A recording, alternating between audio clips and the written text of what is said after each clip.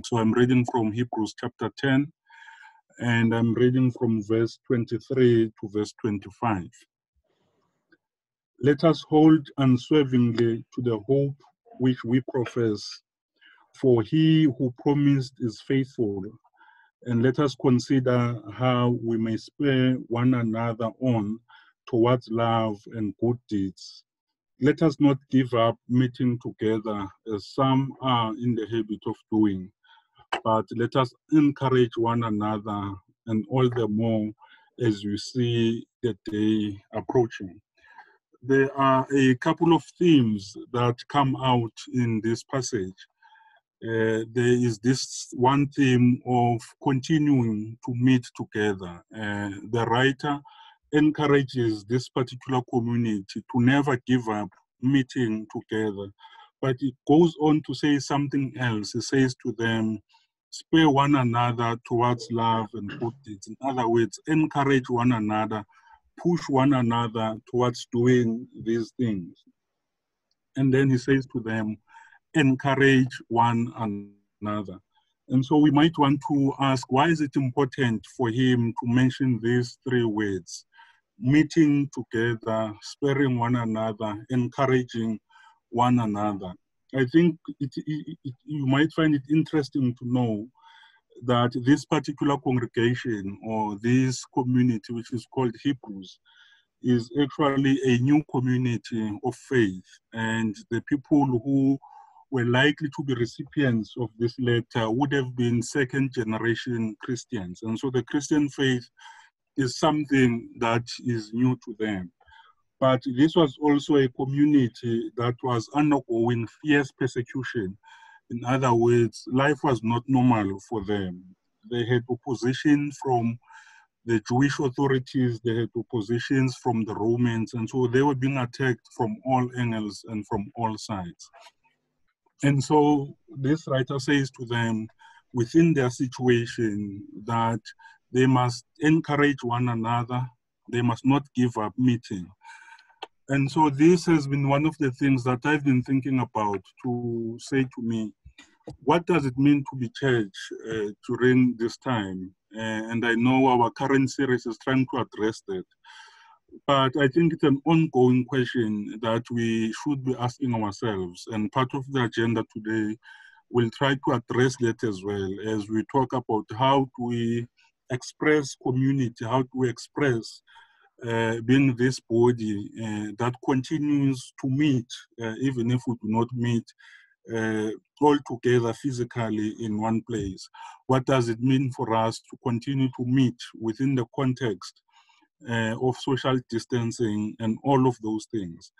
And some of uh, some of the people have come up with very creative ways to say how we can continue to meet during this time. And I just want to to drop this thought as we begin tonight's meeting to say let us not uh, stop meeting, uh, whatever meeting might mean, whether it is coffee and care before the service, whether it is Zoom meetings, whether it is uh, home group meetings that will be happening. But let us find ways uh, to use all these channels to give expression to this uh, Christian gift of holy conferencing. Uh, Mr. Wesley would have said something along the sides of attending upon the, the, ordinances of God. And so the question is then what does it mean to keep on attending upon all the ordinances of God within this particular context? I think whatever the response we might have or whatever answer we might have, all of us who have benefited from the gift of meeting with other Christians and fellow believers every Sunday morning or every Sunday evening. We know the gift that comes with just meeting together with people who share the same beliefs as us. Uh, we understand the gift of meeting together within home groups where the question is asked, how goes it with your soul? And we respond to that question by just pouring our hearts out. And so I think the writer of Hebrews speaks uh, to us as much as he spoke to that particular community when he says, continue meeting, spare one another, encourage each other, And I pray that this meeting will be one of those platforms where together as the leadership team of Westview, we can begin or continue to think and process together what does it mean for us to continue to live as a community of faith within our current situations. And so with those words, I would like to invite us to pray. Let us pray. Our Heavenly Father, our Heavenly Parent, most loving and gracious God, once again, we thank you. We thank you this evening for the gift of life. We thank you for this community, which is called Westview. We thank you for this leadership team that is called the Leaders Meeting. And as we come together uh, in this way, in a manner that we have never come together before, we know, we trust, and we believe that you are amongst us and that you are with us. And so, Lord, we just want to pray that you might breathe life into our conversations so that as we converse with one another, we might also be able to hear something of you. We pray that as we consider plans for the next few months, that you will continue to lead and to inspire us. And so, Lord, we pray for all who are members and all who are represented by this leadership team, that at this moment, as we consider decisions, that we are just mindful of the fact that the few of us who are meeting tonight represent the many who are not part of this meeting. We pray for all of these in the name of our Lord and Savior, Jesus Christ. Amen. Thank you, Ian. Okay, thank you very much, uh, Sipiwe, for leading us in that devotion, which has helped to point us in the right direction right at the start of our meeting. Friends, I want to apologize for the lateness of sending out the agenda to you. Um, it, only went out uh, two hours ago, um, into your email. And so uh, if you haven't checked your email in the last two hours, you might want to go there. But I am going to um, I'm going to uh, share screen the agenda for you right now. And so you will be able to uh, see what our agenda is for tonight. So Sipiwe has led us in devotions. I think we've taken the attendance register uh, are there any other apologies that we just that Lael just needs to record that you bring to the meeting? Ian, I've had apologies from Pete Vessels and Antoinette Perkins. Um, sorry, there was a third one, but I'll email my apologies from my cluster to Lael. Thanks. It might have been Barbara Girdleston. I know she emailed apologies to me. Was Barbara Girdleston the third one? I actually think she was the fourth one, yes. Okay, yeah. Um, but there is someone else, but I'll email Lael. Okay. Um, I've, also, I've also got Jane Dupree uh, um, apology. Okay, thanks. So Jane Dupree, thanks. Okay, so um, we move now to agenda check. And what I want to ask when we uh, is that we broaden the scope of the agenda check. And I want to just take a, a few minutes now to just capture the questions that you have come to tonight's meeting with. So inevitably, we are moving into a, an unknown phase in the church's life. And so I'm sure that you have come to tonight's meeting with some questions and um, what I'd like to do is just capture those questions. And we're not going to answer them now, but at the end of our meeting, we will return to those questions and just check that all of them have been answered. And if there are any that are unanswered, then we will address them. So, could I invite you um, just to uh, speak out uh, any questions that you have? Um, uh, so that we can capture them at the start of this meeting. And the questions will also help uh, me to gauge and the rest of the leaders, uh, the, the exec, to gauge where the also where the congregation is at. What are the questions that the broader leadership body and congregation are asking at this time? So any questions that you would hope would be answered at tonight's meeting?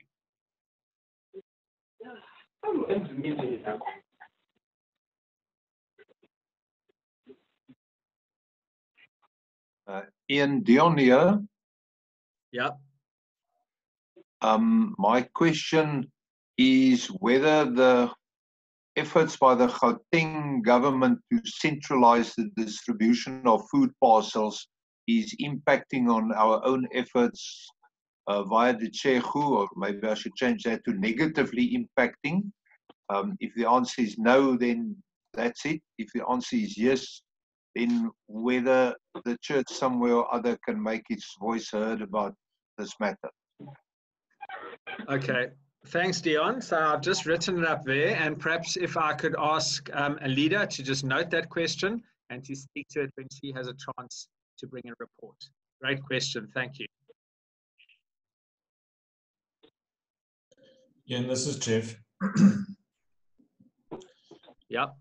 Um, I don't know whether it's appropriate to talk about here, but obviously, you know, money's going to be tight. Mm. And you know, my, my concern would be we have a number of members of staff uh, who are reliant on income from our society. Um, and also we need to be paying circuit and district assessments. Um, and have, have we or do we plan to do any impact study on that? And is there any guidance from um, MCO? I know the district's been trying to figure out what's going to happen in the district, but um, I don't know whether any overall um, assurances or plans have come that we need to take uh, note of as a leaders meeting this evening. Okay, thanks for that, Jeff. Um, so um, yeah, I, I, will I will speak to that. Uh, whatever Avril doesn't cover in the finance and admin report, uh, I will I will speak to that one. Avril will be able to answer parts of that, but not all of it. Thanks.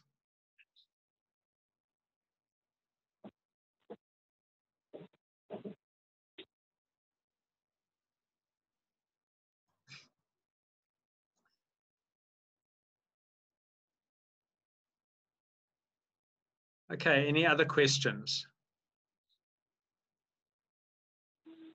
Okay. Yeah, Ian, uh, it's it's uh, Adrian. Yeah. Um, just just in terms of the property, um, It's on the agenda. what are- what are we able to do with it currently? Are we able to maintain it in any way? You know, before we left the building, did we turn off all the geysers? And um, is there anything that can be done while we're not there? Or will you cover that under under 8.1 under property? Okay, well, perhaps if Josh can address that under property, and uh, and if you can just remind us uh, when Josh does his report, just to make sure that we've covered um, we've covered that question. Thanks, Adrian.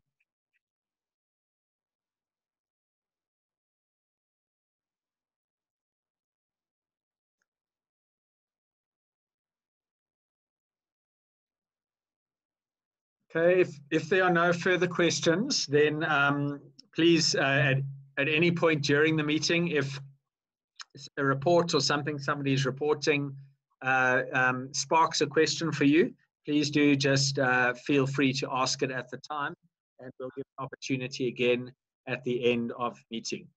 Um, so let's return to the agenda there, which you have, and just ask if there is anything that you wish to add to the agenda under general and we can add it now.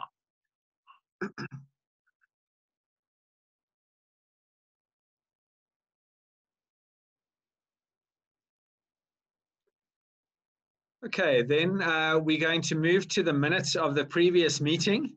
And I'm going to be cheeky enough to um, assume that people have read it, even though you only received it a couple of hours ago. It will take us a little bit of time to read through the minutes. So could I ask if there, if anybody has picked up any corrections that need to be made um, to the minutes of the last meeting, which were, was held in uh, uh, in um, uh, on the 12th of March.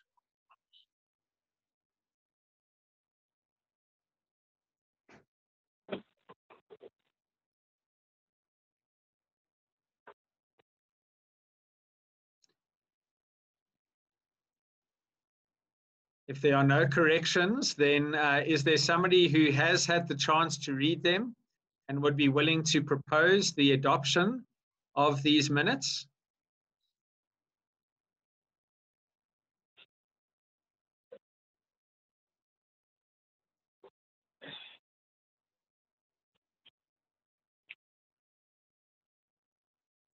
Okay, so Nico has uh, proposed the adoption of the minutes. Thanks, Nico.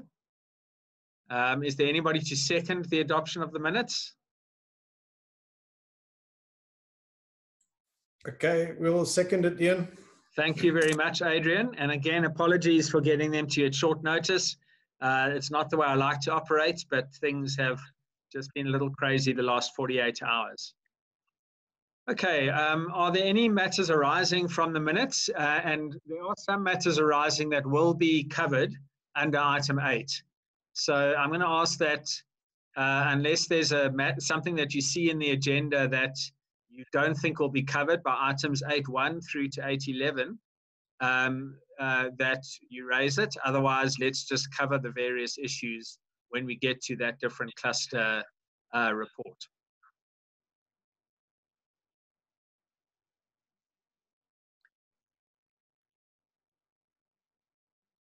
Okay, then I, moving on to the uh, a presentation that I'd just like to share with you about the remainder of um, 2020. Uh, and um, I, I, guess uh, about two weeks ago, um, I really felt that it was really important that we have some kind of structure to decide as a congregation and as a leadership team um, some kind of framework in which we could which could guide us in thinking about what we should give our energies to in the season what we should focus on how we can check whether all of the bases that are being covered as a congregation are being covered. And so uh, after much thought and praying through it I, I, I started with the question of uh, asking myself um, what uh, let me just see what's happening here. Uh, asking the question, um, uh, what is our vision for Westview during all stages of lockdown? And, um, and the phrase which guided me in my thinking here is the one which said, we will hope for the best, but we will plan for the worst. What that means is that we hope that, uh, that South Africa is going to be effective in, in um, in, in, slowing the curve uh, and in treating and in controlling the spread of the virus so that we will be able to go to ever lower stages of lockdown. But uh, that, that's our hope and our prayer. But I believe, we believe that it's prudent for us to plan for the worst. Now, if you looked at the presentation that uh, uh, the document that accompanied President Ramaphosa's presentation when he announced the five stages of lockdown, very clear from that document that social gatherings and, and religious gatherings, uh, there will be restrictions on them through all five stages of lockdown. So, what that means is that uh, we are not going to be meeting certainly large worship gatherings or services, but probably even smaller meetings for, for months. And so, in terms of the guidance, the, the, the strategy to plan for the worst, we are planning as if we will be doing online church for the remainder of 2020. So that means that if things start to open up again by September, as what most people seem to be predicting, then that will be a pleasant surprise. But if, uh, if things are even worse than that and we are shut down until December, we are prepared for that. And we, uh, and, and we are going ahead with all of our planning on the assumption that, uh, that this is going to be reality for the next eight months. So what that means is that all of the plans that we're putting in place are not just stopgap measures until we can get back to how things were. They're not normal measures that we are, are they, they, they're not, they, they are, are the new normal that we need to work out for the next um, eight months. And that is the, the, the guiding um, uh, time frame that we are working on. So the next thing I thought about uh, is I asked myself the question, what, um, what are the congregational needs during this time? Um, and if we are to remain a place where life change happens, which is what Westview is all about, then what needs do we need to be ensuring are addressed? And I, I articulated these needs in five phrases which a congregation might speak. Some of these phrases came out of some of the phone conversations I had with congregation members early on in lockdown. Um, and the first phrase is the phrase, I feel cared for. So, this is a time of tremendous stress and anxiety for many people. And one of the key things that Westview needs to attend to, and by Westview, you'll see that I've underlined that term we. By Westview, I'm not talking about the pastoral team, and I'm not talking about the staff team, and I'm not talking about the, the exec. Uh, I'm talking about the entire leaders meeting. So that means every single one of you, uh, as, as a leadership team, we must address these five needs if, uh, if Westview is to be faithful to our call to be a place where life change happens. So the first one is that people in our congregation need to feel cared for during a time of tremendous stress. That's one of the bases that must be covered in whatever we do. Then, secondly, people need to feel connected and they need to feel that they are in community. So, um, so this is a time of physical isolation. People, we all have a human need to be connected to one another. So we've really got to be intentional at every level of Westview's life of making sure that people are feeling connected, feeling that they are part of a community, that they are not alone. Then the third need that we all have is the need to make an impact. And it was amazing how we got feedback from ushers and from money counters and from members of worship bands saying, I'm so missing the service that I was offering to God through Westview. What can I do? And that speaks to the fact that as human beings, we all have a need to feel that we are making an impact for Christ, for the gospel. Uh, whether we're making an impact to the church community or whether we're making an impact to the broader world, change people, change our world. We all have a need to make an impact. Then, fourthly, there's the need for spiritual growth.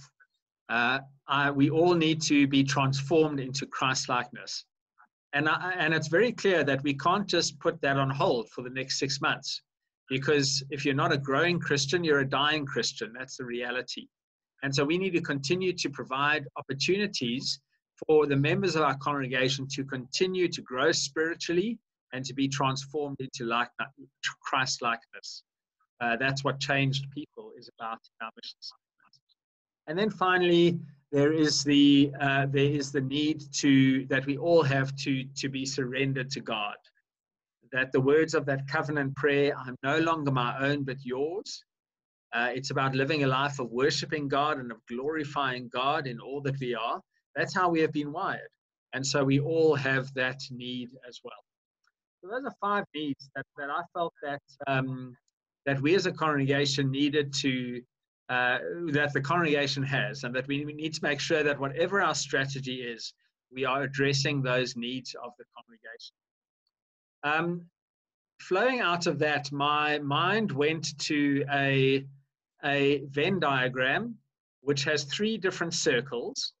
And uh, I'll try and uh, orientate you to the Venn diagram. And the first circle um, I've called pastoral care and fellowship and uh, and and the pastoral care and fellowship circle addresses the need that the congregation has to be cared for and to feel connected. Um, the second circle, try and ignore the parts of the diagram that I'm not speaking to until I get to them. But the second circle is um, is the spiritual formation, discipleship, evangelism circle. And that addresses the phrase, I am being transformed into Christ likeness, or I'm growing spiritually.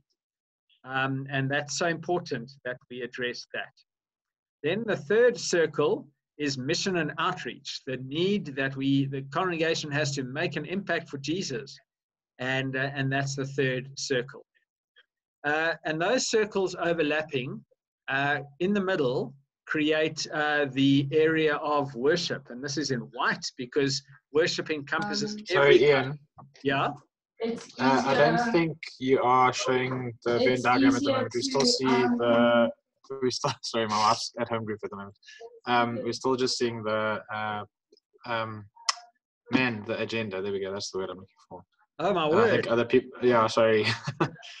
Oh, I thought I thought it was just me, and then I saw some comments in the comment section saying that. Okay, let me try and um, okay.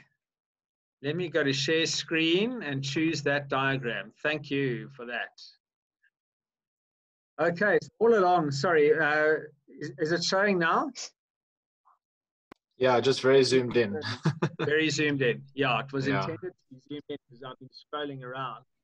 Okay, so that means that you didn't see all the, the questions being typed up. There they are up there.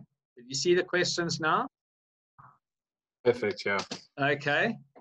And then uh, you didn't see the um, you didn't see the five statements, the five congregational needs we must address. And then there is the first circle of pastoral care and fellowship. Uh, there is the second circle of um, evangelism, spiritual formation, and discipleship. And there is the third circle of mission and outreach. And then here in the middle, which is where I got when, uh, thanks, Josh. Unfortunately, in share screen, I can't seem to see the comments. So if you type a comment, I don't think I'm going to see it. Um, you're going to have to just interrupt me as Josh did. But um, in the middle there, white is all of the different colors. Worship is, is at the heart of who we are as a church. And that addresses the need to be surrendered to community to surrender to God, sorry, and to be in community.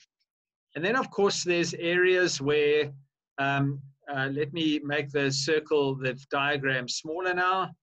Um, then there are areas where pastoral care and fellowship uh, overlaps with mission and outreach. And there are areas of this diagram where um, evangelism and spiritual formation overlaps with pastoral care and fellowship and also where spiritual formation overlaps with mission and outreach. So if you can see this Venn diagram, you can see that obviously the white in the middle is the worship services, which are very central to what we're doing now, online worship. These are, this list is not exhaustive, but it lists some of the activities. Under pastoral care and fellowship, there's the Kaluma um, online counseling, and there's food parcels for the congregation. But past, where pastoral care overlaps with mission and outreach, we have the phone calls that are being made by congregation members and staff. We have food packs, which, uh, which uh, fulfill both pastoral care and mission and outreach needs.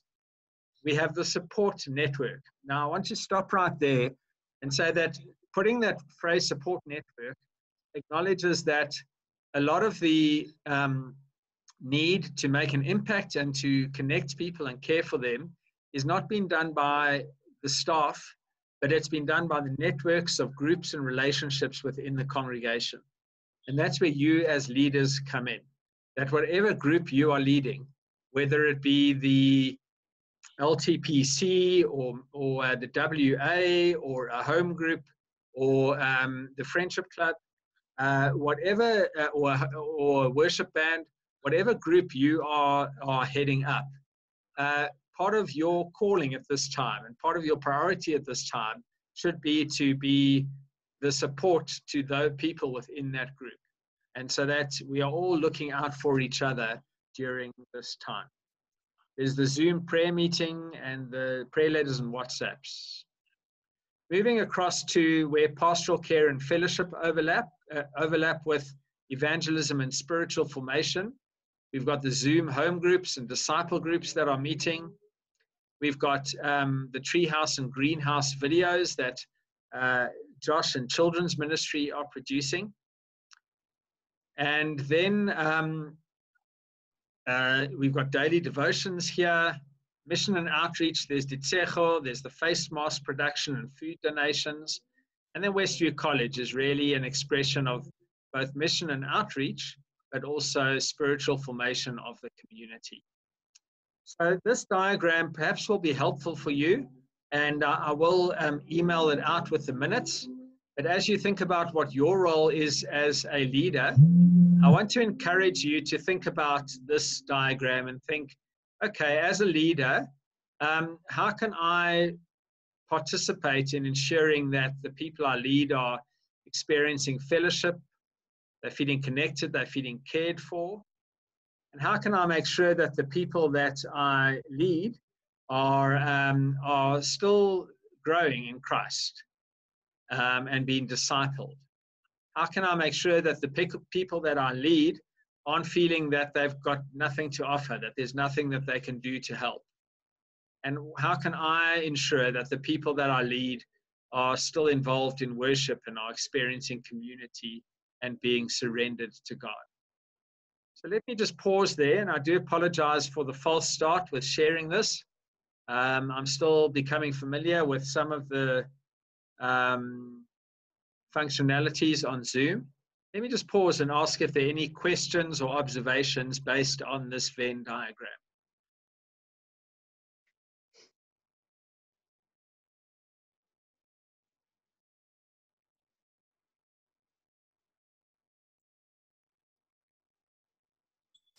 Ian, I, I would say just just the mere shape of it, you know, the the circles. It's it, it shows completeness. It shows um, wholesomeness, if we can call it that, and it's the you know the overlapping points. Um, it's yeah. If we were to describe it in one word, it's it's wholesome and complete. It's not one word, but that's what I see from it. You know? Okay, thanks for that, Adrian. Yeah.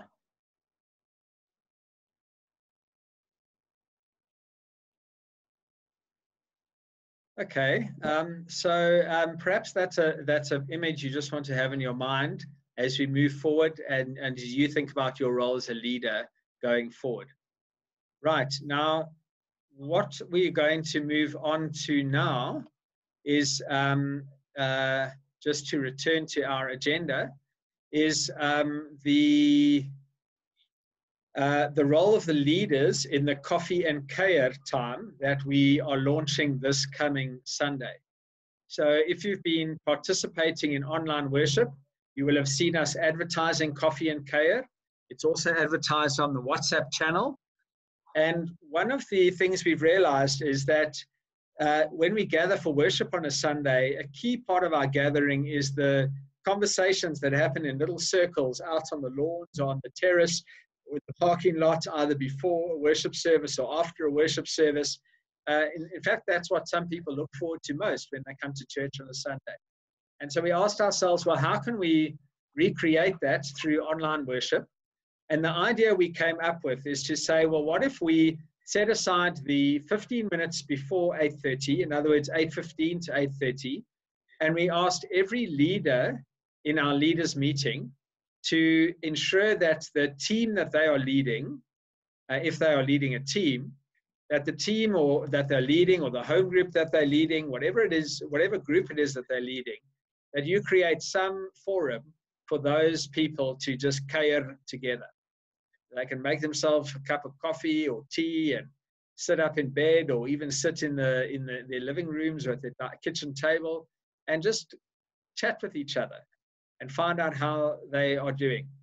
So, for those of you who um, have been part of the Zoom Bible studies, um, sometimes the richest time of those Bible studies has been the five minutes before we formally start our study, where we're just asking everybody how they we are doing and finding out how people have been enjoying their walks in the mornings, find out how it's going with homeschooling of kids, particularly ask people who live alone how it's going. And there's different ways, there's different forums that these can happen. Uh, you could set up a Zoom or a Teams or a Houseparty meeting and uh, invite people to participate in that. For those who have data limitations or are technologically not that strong, um, WhatsApp groups where you can either just type greetings to each other or send voice messages to and fro between each other that seems to be working well with the Friendship uh, Club. And um, uh, there may be other forums that people could use just to connect with each other. So that's really what we're asking you to play a role in. Now, as a leader, you might be a leader of a, a home group or a Sunday school class, perhaps, and you're saying to yourself, well, I'm not technologically savvy to make that happen myself, but uh, maybe you aren't, but maybe, um, but maybe there's somebody else in your group that is, who could take responsibility for being the host uh, or for being the convener of that forum. So I'm going to stop there and just ask whether any of you have questions about this and, um, and whether you have any suggestions for how we could enrich this time. And, um, and I've come out of screen share now. So if you want to type, I will be able to see what you type. And, um, and let's just have a conversation around how we can just create spaces for people to feel connected during the coffee and care time on a Sunday morning.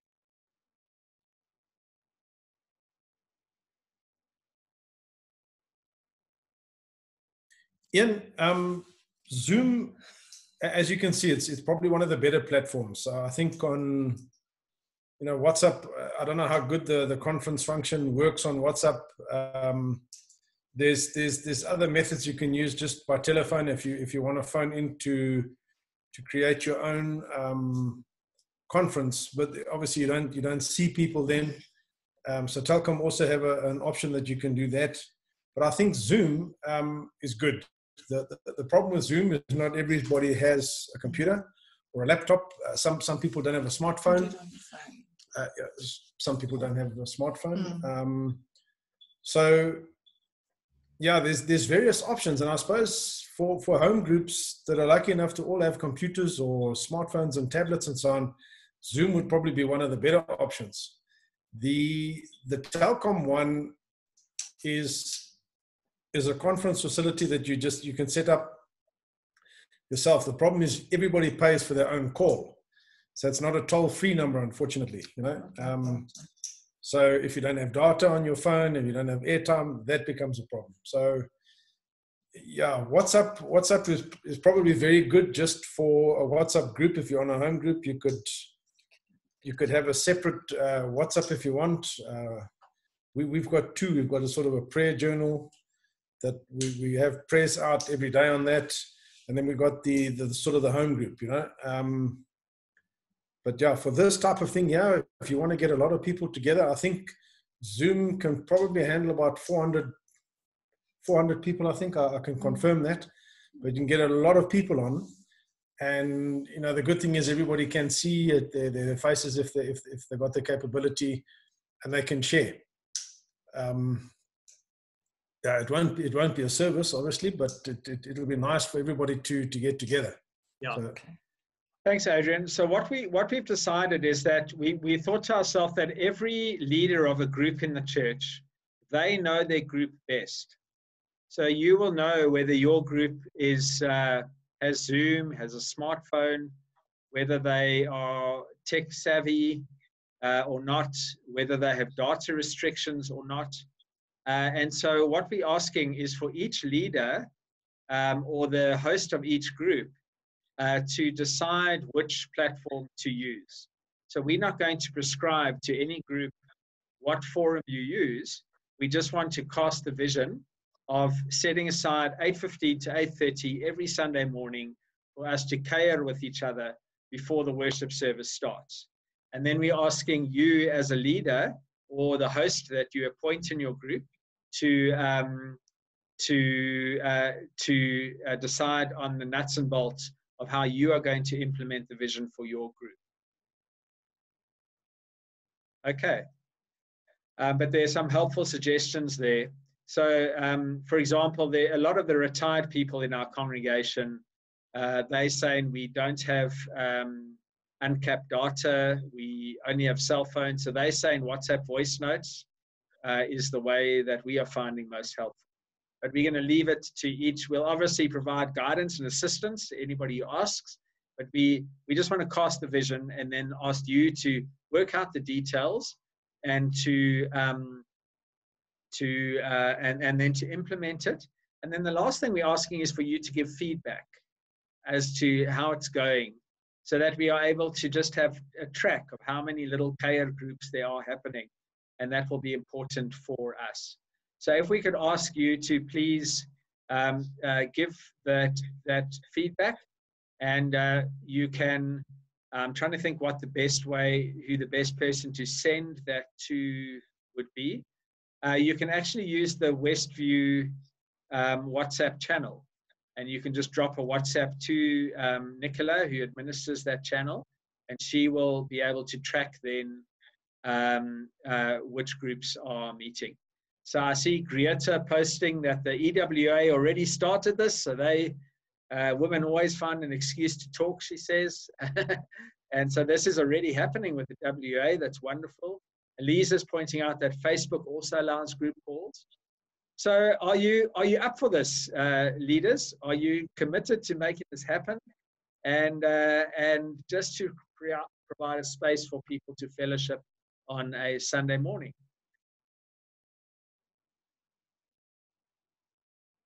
Okay, thanks. I'm seeing some thumbs up. Um, so uh, Deirdre is saying yes, and uh, and Elisa saying yes. So let's try and honor this. Um, uh, it means setting your alarm clock 15 minutes early on a Sunday, but I really think it's going to be a wonderful blessing to people who do it. Just to say to the staff members as well, that if you can work together with the volunteers in your cluster and also be open if there is the need for you to host uh, Kuier uh, Kringa, circles uh, in your own clusters as well. That would be wonderful. Okay, any other, anything else to say on that item?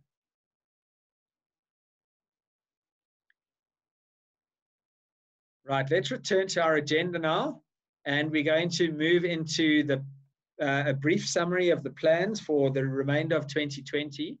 I'm going to deviate from the order now because uh, James has got a Zoom Young Adults Fellowship group starting in 10 minutes' time.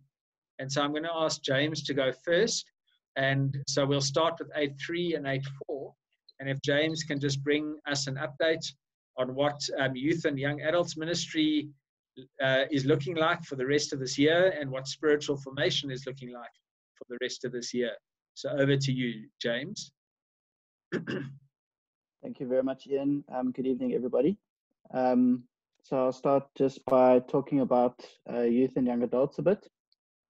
Um, so with the initial lockdown, um, we decided to take the strategy of just reaching out to a lot of the youth and a lot of the young adults. Um, there was quite a bit of panic and uncertainty in the in the first week or so of lockdown. Uh, so there was a lot of informal chats, uh, checking in with people, uh, a lot of pastoral care happening over WhatsApp and phone calls, etc. Um, but after the initial lockdown period, once things started to settle in um, and the panic started to calm down a bit, uh, there was there was a little bit of a lull. Um, you know, people started to get bored at home and so on. Um, and so we tried a number of different things during this time. So we were releasing daily devotions for the youth, um, again uh, over WhatsApp. Uh, on WhatsApp, we have a number of different groups. So there's a confirmation group, there's a rooted youth um, uh, Sunday morning group, there's a post confirmation group, and then there's a bunch of different young adults uh, WhatsApp groups as well. Um, so we're releasing a daily devotion, uh, which some were using, but not too many. Uh, so then we decided to go a little bit more of an informal route. Um, so we we started um, kind of like a gamers group because quite a lot of the youth are gamers. Uh, so we picked basically a game and uh, we were just playing that on some afternoons, just chatting, sharing together, uh, spending some time. Uh, we did that with some of the young adults as well. Um, and it just created a nice opportunity for sharing and just connecting, touching base in a little bit more of an informal way.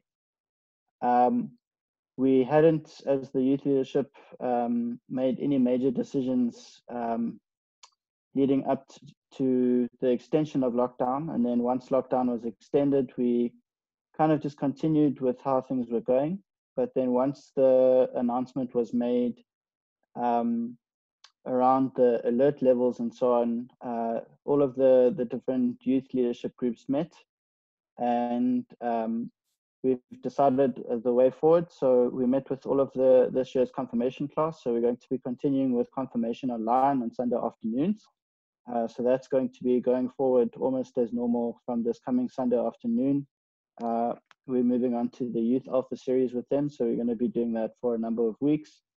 Um, then the Sunday morning youth, uh, rooted youth, uh, we've decided to actually try running youth, uh, not on a Sunday morning, but we're going to be moving it to a, a Friday evening. Uh, part of this was uh, some of the youth leaders themselves uh, suggested that Friday might be a little bit more of a convenient time, as a lot of the youth, um, you know, they're busy on uh, during the week with school. A lot of them are up early, so the consensus was that some of them would choose to sleep in over the weekend. So if we were to do youth at 10, quite a lot of them wouldn't actually be there.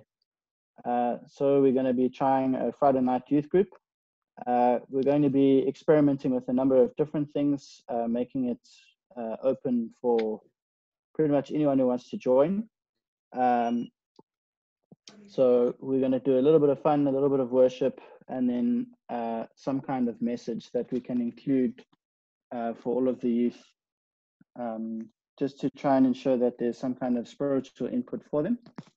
Um, so right now, that's that's what the main youth group is looking like. Uh, regarding the young adults, um, uh, both of the, the current young adults home groups have been meeting uh, with their home groups uh, since pretty much the beginning of April, plus minus. Um, and those groups have been running again as normal as possible. Um, and there's been just a lot of conversation uh, amongst all of the young adults. Um, I guess going forward with the young adults, we would probably look at uh, group events that can be done. Um, some ideas have, have kind of been thrown around, something like a watch party where you pick a movie or a TV show and everybody you stream it and then a whole bunch of people watch it together, um, just as means of fellowship.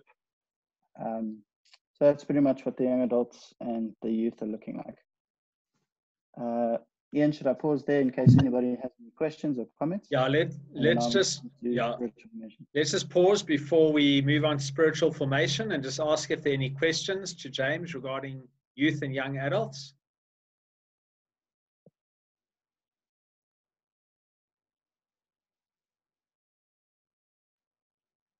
Okay, if there are no questions, James, you can carry on with spiritual formation. Okay, cool. Uh, regarding spiritual formation, uh, this has been uh, tricky for for some of the the groups in some ways. So, uh, with disciple, um, only one group is currently meeting over Zoom. So that's disciple one, and they uh, started a, a little probably the middle of April. So they've been meeting over Zoom now for about two, three weeks.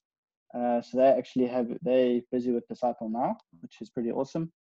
Um, my understanding is that uh, Thomas's group has been continuing their reading, um, and they've been communicating with each other via WhatsApp and email. And then um, Doug Monday's group and Jane Dupree's group are currently on hold. Uh, I imagine that there, there might be further discussion for them. Um, uh, we haven't actually had that check-in conversation as yet to see what the plan may be for them going forward. Because um, uh, my understanding is that meeting virtually uh, for these groups has been a little bit tricky. Uh, so we're going to have to look into that.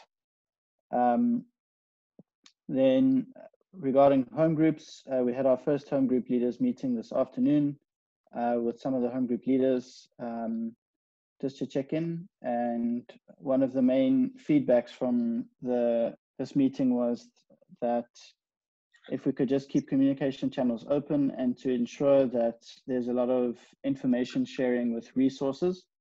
Um, so pretty much a message is going to be going out tomorrow to all home group leaders uh, with a whole bunch of links um, that the different home groups have been using as a resource because uh, some groups follow the church's um, when there is home group material, uh, and some of the home groups use the daily devotions, uh, but other groups also choose to use their own material. So that's how the home groups are looking. Uh, general feedback is that some groups have been meeting over Zoom successfully, there are other groups that have had um, some difficulties which have been shared already in this meeting, such as uh, lack of technology, computers, uh, internet connectivity, etc. Uh, so the meeting just brainstormed a number of different ways that uh, the different groups can try and maintain um, this fellowship and uh, going forward. Um, another thing that was done was the Walking with Westview clips, um, which was just kind of a, uh, I guess, initiative you can say that was done to give the congregation a little bit uh, of spiritual input. Uh, this was uh, released during the initial lockdown period, uh, and there has been conversation of what that could look like going forward um, in terms of a, a constant resource that the church may offer. Uh, I imagine that along with that, there, there may be talk of some kind of webinar that the church can host or online, uh, I guess you could say, course that people can join, kind of like the courses that we ran in March. Uh, the, a similar kind of course could be hosted easily over Zoom. Of course, not everyone would be able to join, um, but it is something that we can definitely look into. Um, because myself and a number of other, uh, I guess all of us have attended some kind of webinar um, at some point. Um, and so if we could use that idea or that model going forward, I think we could make use of it. Uh, and yeah, that's that's spiritual formation.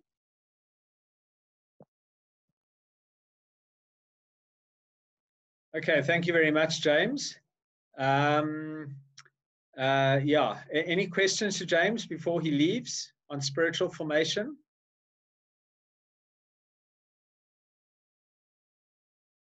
Okay, thanks, James. Enjoy your fellowship group and uh, keep up the good work. Thank you very much. Good night, everyone. Night. Right, so we're going to go back up to 8.1. And just by way of introduction, to let the meeting know that um, that uh, Josh will be leaving the staff team at the end of May. Uh, many of you will know that Josh has been studying uh, while he's been on staff at Westview. He's been studying to qualify as a maths teacher, and he received a post at Sutherland High School starting the 1st of June teaching maths. And so, um, yeah, it's going to be a big loss to our staff team and to children's ministry and uh, Josh uh, has been a great, great blessing to us as a staff team, but also to uh, to the children in our congregation, many of whom are now in youth over a long period of time, but also to the children of uh, Westview College and other local schools in our area. So, Josh, we're delighted that you and Claire are still going to be a part of Westview as uh, congregation members. And uh, we just want to say thank you for your contribution to children's ministry. We really do appreciate it.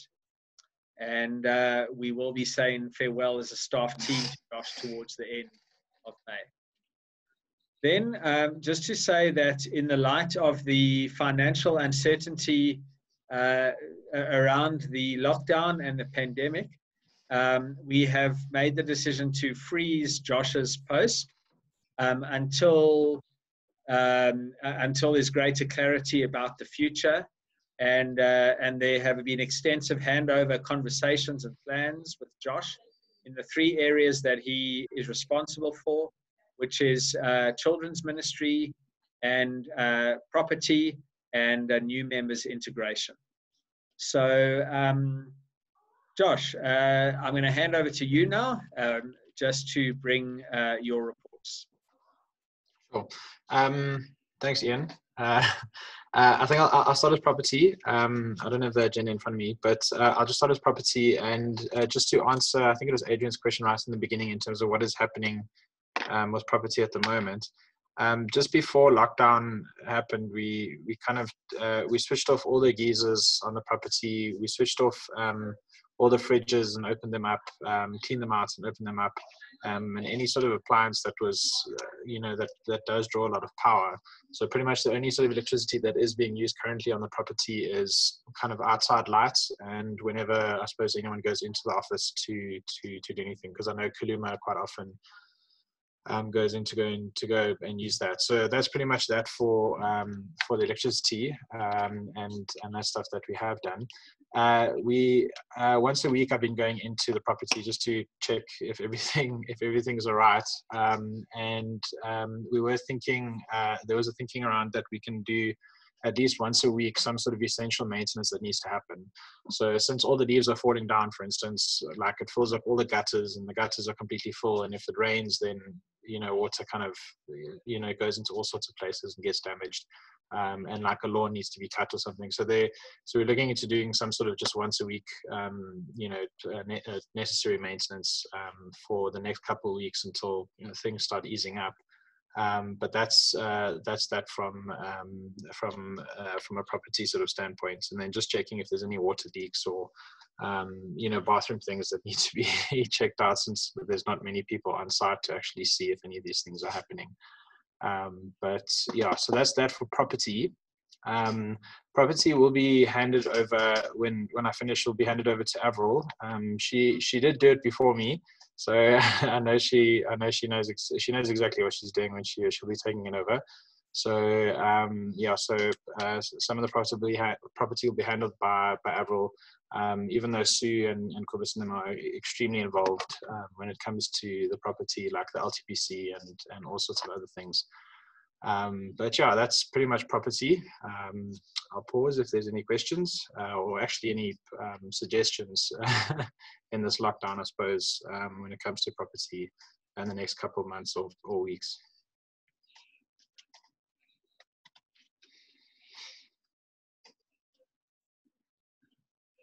Uh, Josh, I did mention to you before, but maybe um, Sue and them should be aware that uh, the sanctuary is leaking.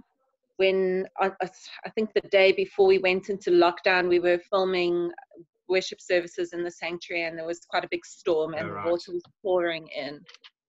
So, just a reminder to the LTPC. It was it was the the water that was pouring in by those the glass the um, stained glass window stained glass windows. Hey, or there the, the colored windows yeah, there, but there was also a leak in the sanctuary and also one in the foyer, and then also the um, Garden of Remembrance. Yeah, so so when you say by the, the colored windows, it's by the um, windows which face the parking area, the south the south side of the church. That tiled walkway area was flooded quite badly. Sorry, Nicola, can you just, um, I don't know if you remember the one that was leaking in the sanctuary. Do you know exactly where it was leaking, just so we can just pinpoint it? Um, I put a I put a bucket there, so if you go in and you find the bu- the two buckets, oh, right. you'll find okay. one in the sanctuary and one in the foyer. Okay, perhaps we won't get into a detailed discussion on that, but if um, Sue and and Josh and Nicola can just correspond and pinpoint what the problem is, and then at least we know what it is for when the time comes to address it. Okay, thanks, um, Ian. Uh, we'll connect in with Nicola and Josh and see how we're going to sort it out and, and uh, get back to you guys. Thank you. Okay, um, any other questions or suggestions for Josh?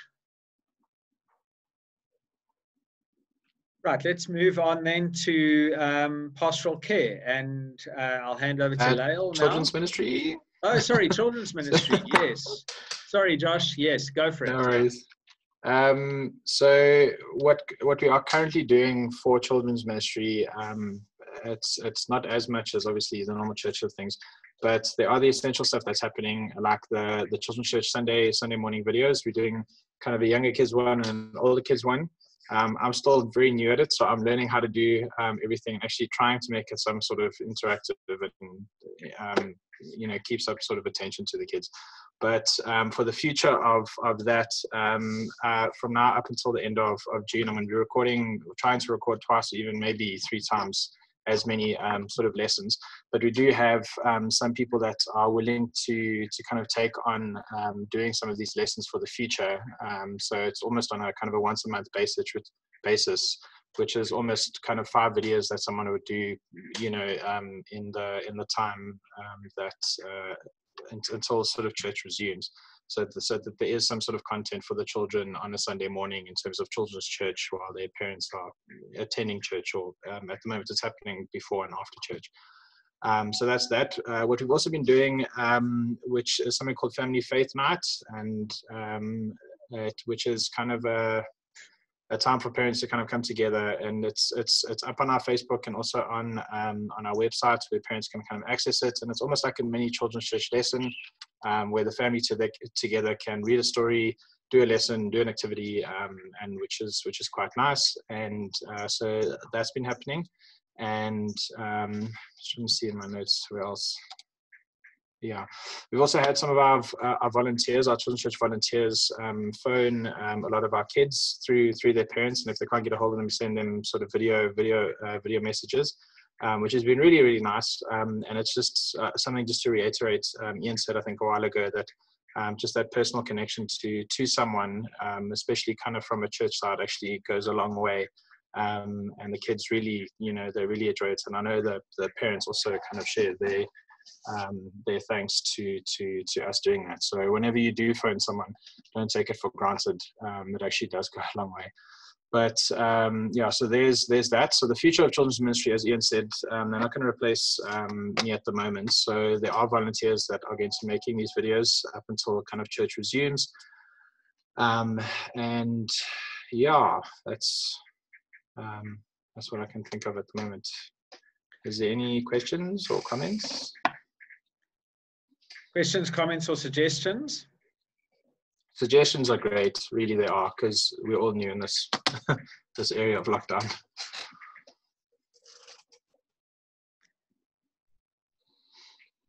Okay, if there's nothing, then we'll move on. Um, Josh, thanks to you and your team of volunteers for the great work they're doing. Right, now we'll move on to pastoral care. Thanks, Lel.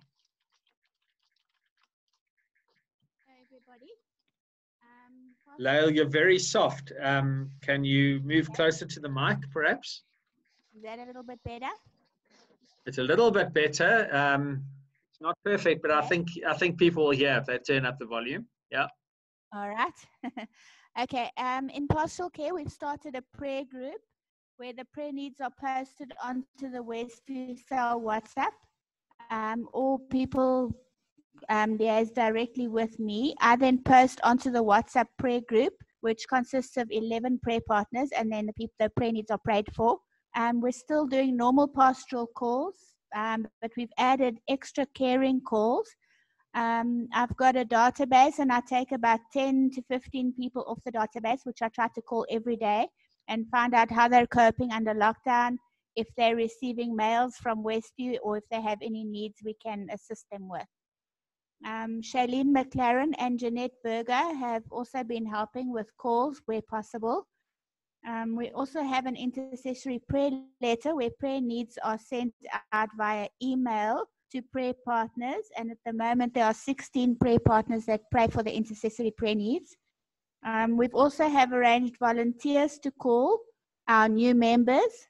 Josh sent out a list to all new, of new members who've joined in the last two years and the volunteers have been calling the new members to find out how they're coping and how they're doing.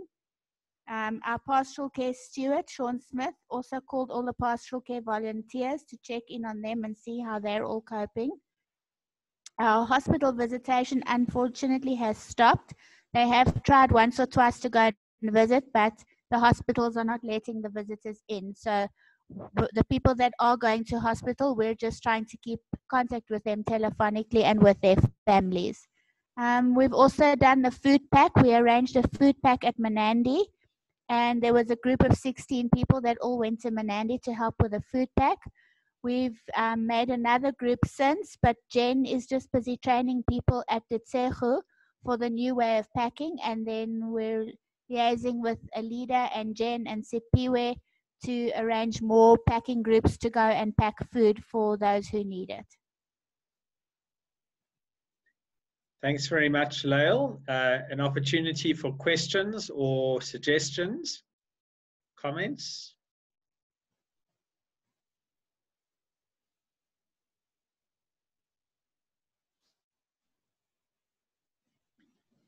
Right, we move on then to um, worship and communication. Nicola, you can just deal with both of those together, I think. Hello, everyone. Um, I'll start with communication. Uh, so with uh, worship moving off the premises, some of the avenues of communication have naturally sort of been frozen, such as um, Westview News, the posters on the premises and also bulletins. We're not producing bulletins at the moment. Um, but things such as Ian's e-letters, the website, uh, Facebook, Instagram, um, YouTube, they are still carrying on. And then we've also, as I'm sure you know, we started with WhatsApp as a form of communication, which is really I think, been the most effective form of communication that Westview has had to date. Um, we've got 420 people who have signed up for the news. Um, and then, right, let me quickly check, 141 people have signed up for daily devotions. We decided to make these two different things that you would sign up for because some people um, might get word of it and would like the daily devotions, but not necessarily be interested in Westview News. Some people would like to be up to date with Westview News, but they're um, perhaps downloading the devotional booklet from our website, which is a fuller devotion. Um, so they don't want the daily devotion. So we're allowing people to sign up for those separately. Um, we try we're trying not to spam people, so we're trying to keep the the news um, WhatsApp to uh, um, just one a day at the most. Yeah, but it's going well, I think, with the WhatsApp. We've had good responses. Um, as far as wish, uh, should I pause for questions about communication? Why don't you just keep going, Nicola? We can take questions on both when you finish. Okay. Um, worship, so I'm sure you've noticed we've moved online.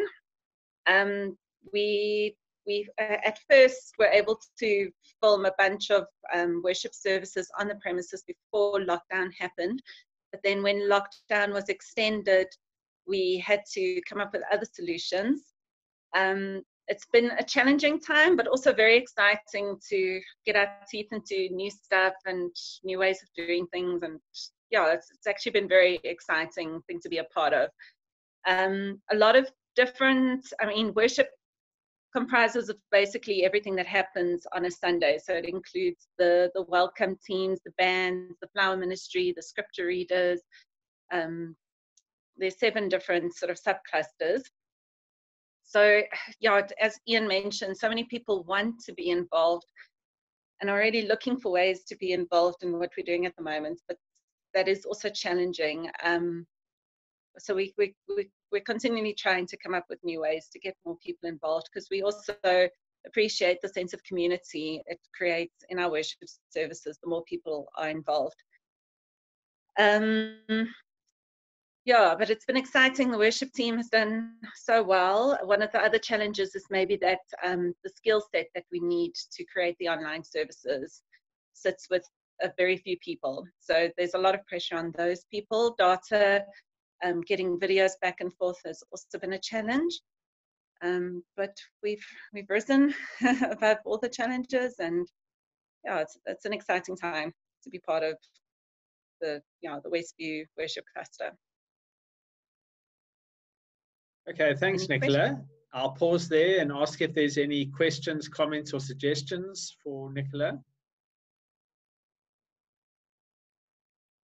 Perhaps if I could just ask for your assistance, those of you who are in business, um, and, I don't, and I don't want you to answer in this meeting because I don't want to get, get the meeting bogged down. But if you wouldn't mind just emailing or WhatsApping me or phoning me after tonight's meeting, there's been, you know, it really would be a lot easier and the final product would be a lot more, um, final experience for the congregation would be a lot better if we could if we could film in the sanctuary as we did for the services up until Easter Sunday. Um, and but we're just not sure legally whether that would be permissible to be uh, pulling together a group of of um, two or three staff plus three or four volunteers, I guess, at a time to film services at the sanctuary. Um, so if anybody is able to advise us on whether that would be legally permissible or not, um, if you could drop me a WhatsApp or an email or phone me after this meeting is over, I'd be grateful for your input on that. We've got to make a decision by tomorrow morning about what our plans are for Sunday, the 17th of May, um, so that we can start pulling them together. Okay, then we will move on from. Uh, yes, uh, Kurt, yeah. So, um, Nicola, I'd just like to suggest uh, as well that you get the sound guys involved as well to for the uh, to do a proper mix of the bands. Because um, during the services, I've noticed that there's some of the um, musicians aren't, aren't heard properly, or the um, they're not um, synced properly, or something to that effect. So to get us more involved as well to um, give you a, a better picture, better sound for the bands. Okay. Um, I have spoken to, to so John van der Laar's been mixing the music at the moment, so it's not like we're just putting it together. There has been mixing, um, but I'll I'll pass on your suggestion and see how we can get the sound guys involved. You- Kurt, you'll know better to make a suggestion when a minister's around. Is your suggestion also an offer to assist? Absolutely. Okay. So there you go. You heard that, Nicola. So you can discuss that as a possibility. Okay. Mm. Thank you. And uh, I see Sue is commenting the same the same comment there, Nicola. Okay. Um, right. Then we um, anything else under worship or communications? Right, let's move on then to um, Kaluma Family Counselling. We'll hand over to Heidi now. Thank you, Ian, and good evening, everyone. Yes, Kaluma has been one of the essential service providers. Um, so, although we are in lockdown, um, we are not in lockdown. We have been on standby at the police stations with the victim friendly rooms.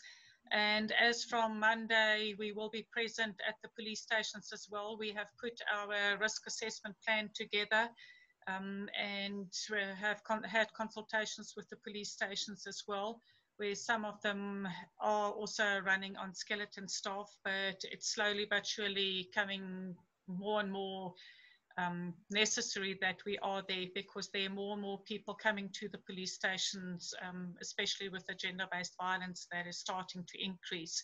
And people are really feeling the psychological effects of the lockdown.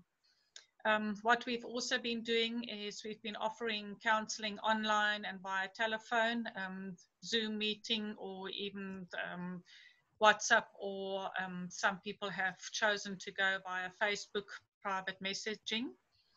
And then also where we're very much involved with is still doing material assistance within the community, um, and that includes clothing, blankets, and especially coming up into the winter season now with the, also the dry season. And just before lockdown, where there were some shacks that have burnt down, and people have been in need of um, essential um, items. But we also do, um, we had started with distributing some of the food parcels to the gender-based violence victims um, and to elderly people that have been identified within the community. But with the whole situation um, in Mooiplaas and in Leeuwenhoek Bosch, where it is very often a little bit volatile to go into there, and the police have um, asked us uh, or suggested to us rather not for our own safety. And then we have resorted to issuing some food vouchers, um, which has actually worked very well um, through checkers through the CompuTicket. And that has also empowered the people themselves to go and buy the food that they needed. Um, and, and so far, that has worked well.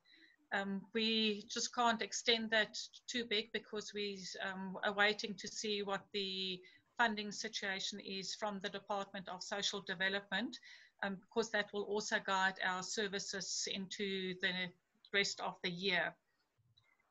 Um, because also what has happened now is that in some areas there are designated NGOs um, that are the only ones allowed to hand out food parcels, but uh, that is more in terms of the bigger um, feeding scheme um, that they are involved with. Then our AGM, which was due now on the 19th of May, we have postponed that. Um, that will be only done once we are in level one and where more people can gather together. Um, yes, and we are also at the Kaluma House office on a Monday, um, which has helped tremendously just um, organizing everything and coordinating everything, but it's also been helpful just to touch base with the what I call the management team with the social worker and the social auxiliary workers um, and getting everything organized and really in place. What we've also have done is um, partnered with a kinesiologist um, who has specially put together an affirmation app for gender-based violence and police stations and we will now from Monday start using that and that will be silently played in the background at the police station and on the subconscious also um, work on helping with the stress levels that are there and also helping just to empower the people around there that come into contact with it because there have been studies done that has worked excellently and helped people actually to empower themselves and to affirm themselves and to get um, stronger within their relationships. So that's what Kaluma has been up to. And yes, um, before I forget, this is now ours. So you can't see properly. We have our own branded masks. And Ian, it doesn't, um, what's it? You can still see through your glasses. I don't know whether there anything yeah. that Jackie wants to add to it or any questions.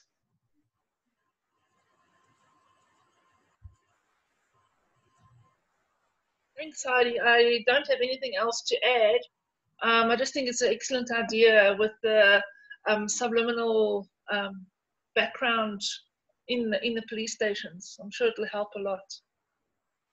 Yeah, definitely, and and it's new territory that we're exploring as well, uh, and to see how we really can get to wider. Um, because, for example, in Erasmia, we're right next to the holding cell, so how that will impact on the um, convicts as well.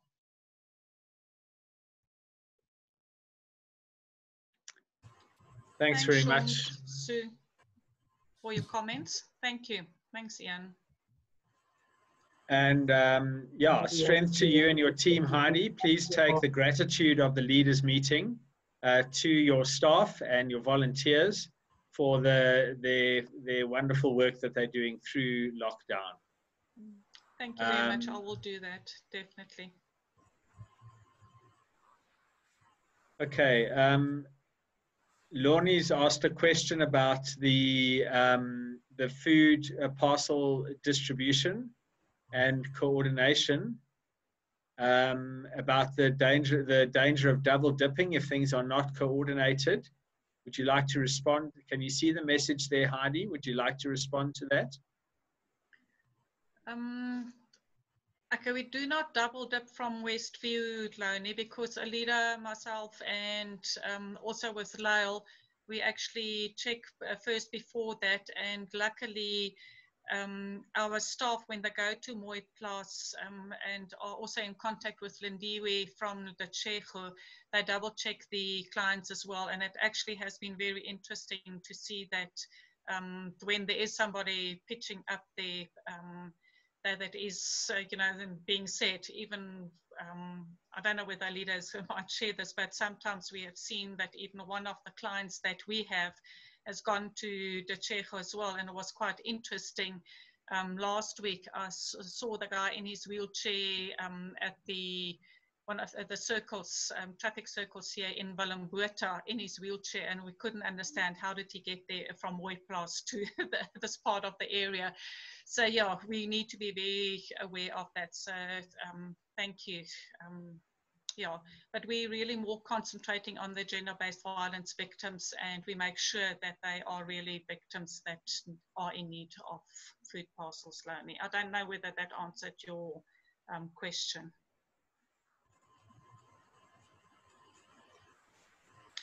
We, we will never be able to get to everybody, um, Loni. That is just totally out of our hands. But we're really also trying to coordinate with the CPF in both in the Moy Mooiplaas area, within our Wierdabrug precinct, within Lyttelton and within Olievenhout Olievenhoutbosch, also to make sure that um, where they, um, and with the social crime officers, where they have identified needy people um, that we can reach with them and um, if necessary, refer them to the organizations that have been designated by government to provide more food parcels. Thank you, Heidi. Um, uh, then there's a question from Jackie. How much are the masks? Where can we get hold of them? Yeah, Jackie, there is a little bit of a contentious issue because we've really paid with them from the Department of Social Development's money. Um, but I have received them this afternoon. They are at our office. We paid 25 Rand for them, um, so we don't really want to make uh, lots of money because it is necessary for our people to wear those masks.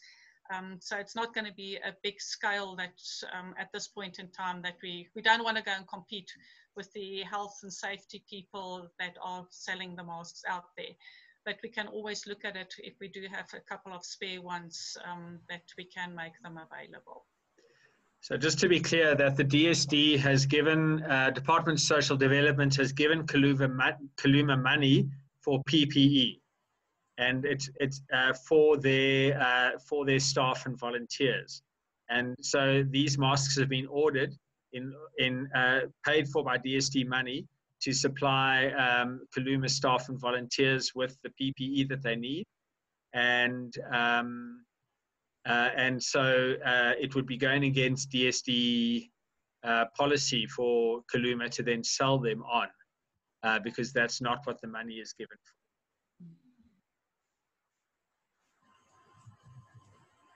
Okay, thanks, uh, Heidi, and keep up the wonderful work. And uh, I know that you'll take our gratitude to your staff and volunteers.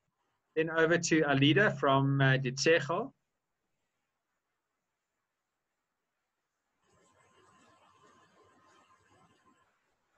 Good evening to everybody. Um, let me just get my video started. Sorry. Um, I'm struggling tonight with, with, with my laptop. Um, good evening to everybody. And I'm really, I, I, I need to start off by saying thank you to everybody. Um, I had so many calls and um, since the 25th of March, um, I cannot tell you how many um, donations in kind, um, cash donations, and from everybody. I just want to say thank you. It's really a blessing for us at the Tejo House. Um, I would like to start off um, by saying that all our school projects, um, the preschool, the after school, our Uh, all, all, our school projects at this point in time has been stopped, so none of them is is continuing at the moment. Um, and and um, so we needed to, to, start with some kind of feeding food parcel scheme in the community because most of our children cannot um, or didn't get more than one meal a day um, at, at home or nothing. Um, and we've provided for them two meals per day. Um, and so we've started immediately with that.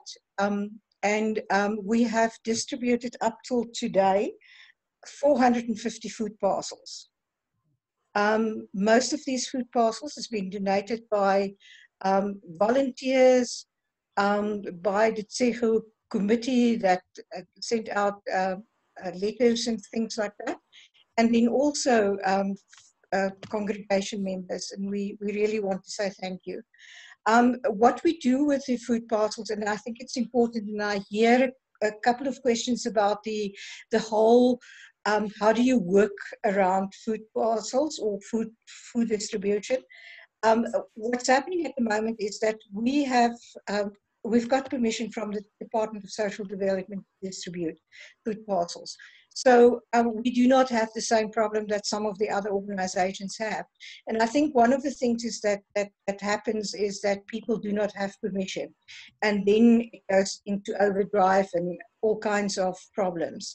Um, our things has been worked out. Um, we get the food in most of the food parcels in on a Tuesday and a Thursday, and then we will distribute either the Tuesday afternoon, Wednesday morning, or Thursday afternoon and Friday morning. Um, we cannot do it every day. There's a lot of work that goes into, into this distribution. Um, we're very fortunate, and I just want to say that up till today, we've, um, reached a target of about 140,000 rand that, that was donated in um, money. Um, that is not, uh, most of the food parcels that I was talking about that we have handed out has been donations. None of them has been, been paid for yet. Um, we are starting now to, with, with Jen, um, Jen from, from Manandi, uh, we're starting to, um, to see how we're going to pack our own food parcels. She was there this afternoon and, and we will continue with that. Um, so that is an, eh, that that is one of the the projects with the children at the Tsecha house. Um, they they they okay and um, they're doing very well. Um, I try to chat with them at least twice a week just to see that they're all okay. Um, we're in contact with all our staff. Uh, thanks to volunteers, um, uh, uh, they have given all our staff um, enough airtime to so that we can uh, kind of liaise with them and be in contact with them. So I'm, I'm very grateful for that. And then um, the uh, the other project um, that, that's just, and we've handed out the, the clothes and and the blankets today. Um, we, we, we've received about 90 blankets and jerseys and baby um, socks and all kinds of things that we handed out today because there was a great need for that. And um, the, the fourth project that we're busy with is, um, uh, let me just see which one is the fourth. Um, uh, it's the nappy project. Um, we've received um, up till this morning 4,000 rand and we will start distributing nappies as well because there's a, there's a great need, not only for food, but um, clothes for babies and newborn babies and then also nappies and all kinds of things. So we, as we continue, uh, as we go on, we, we need to change some of, of the things. Um, I think this, in brief, a summary of, of what we're busy with at, at Tsecha House.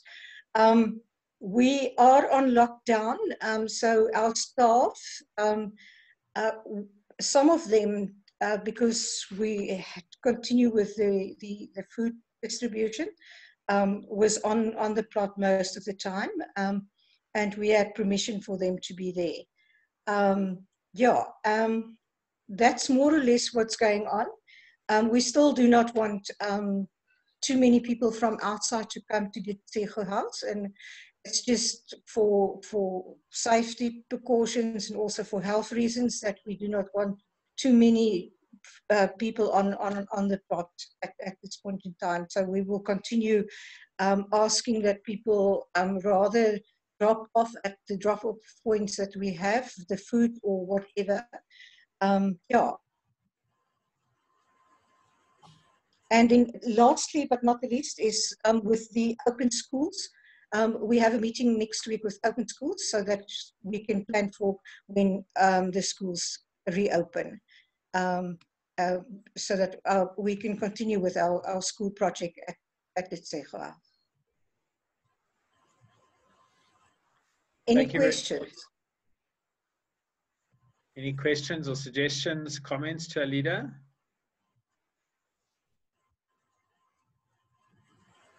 Thanks, Alida. And as I said to Kaluma, if you can please take the appreciation of the leaders meeting to your staff and volunteers for the wonderful work that they are doing in, in difficult circumstances. And to you for your leadership, we appreciate it. Alida, could I ask you just to respond to Harry's question at the beginning about whether the question about whether the Gauteng uh, uh, provincial government's attempt to coordinate uh, distribution of food parcels is impacting your food distribution plans at all? Um, no, not at all.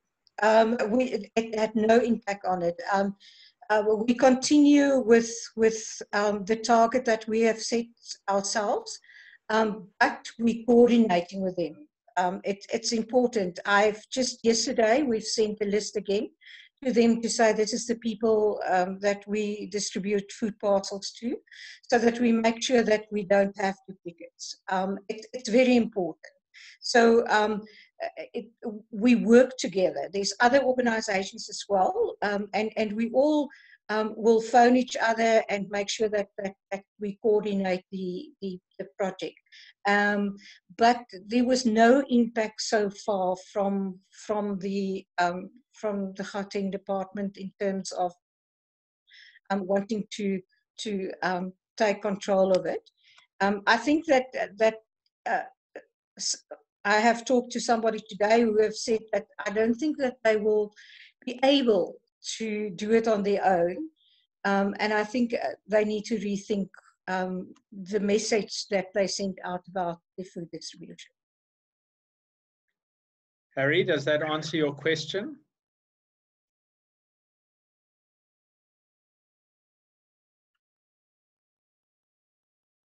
Ian, that was actually my question. oh, sorry, yes, Dion. Sorry. Yeah. Of course. I mean, Harry, Harry's sitting in hospital. How could he have asked a question? Yeah. Sorry. Was, it's been a long uh, day. Th thanks. It's thanks. It's yeah. been answered. Um, yeah. Okay. Much relieved. Yeah. And well Thank done to Alina team. Thank you, Dion. and wonderful to hear that it's the best of both worlds in the sense that there is coordination happening, so there's no double dipping, but that the coordination is not hindering uh, the kind of entrepreneurial initiative that the nonprofits and church sector, religious sector is taking. So that's fantastic.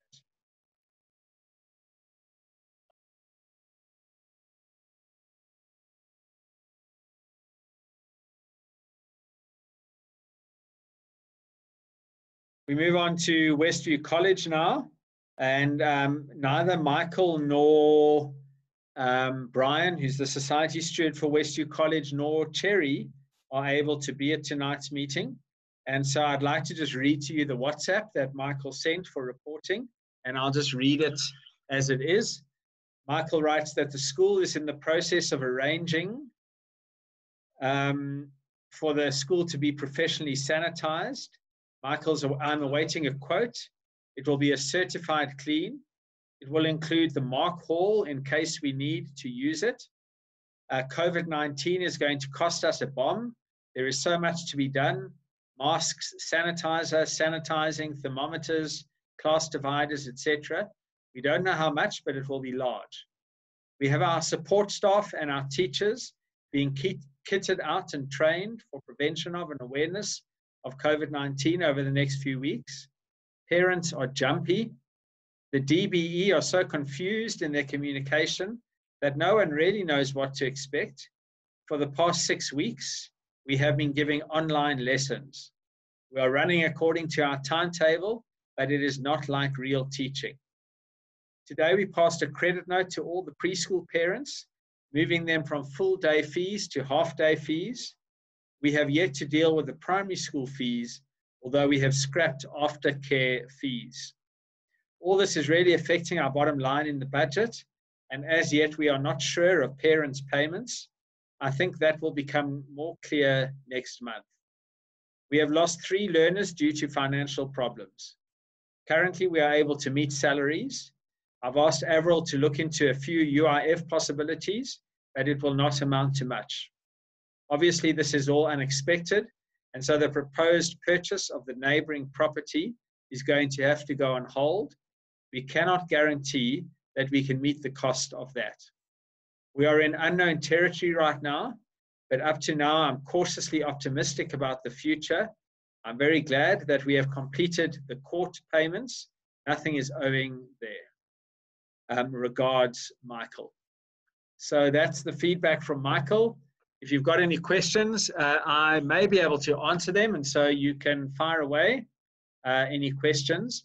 Just to say that um, just before we went into lockdown, I did contact the uh, Mr. and Mrs. Retief, who owned the house that we were in the process of signing an offer to purchase on. And I explained to them that, you know, owing to the uncertainty around the church's income and the school's income going forward, we would have to put the offer to purchase on hold.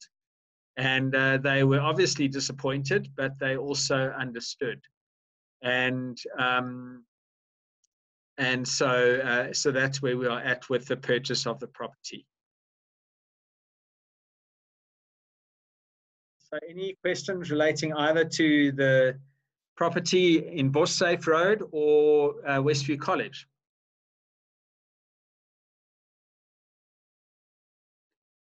Right, we are um, at finance and admin, and so I'm going to hand over to Avril um, to just speak to finance and admin. Thanks, Avril. Thanks, Ian. Um, I'm going to keep it brief because I think that we've heard a lot about the other things.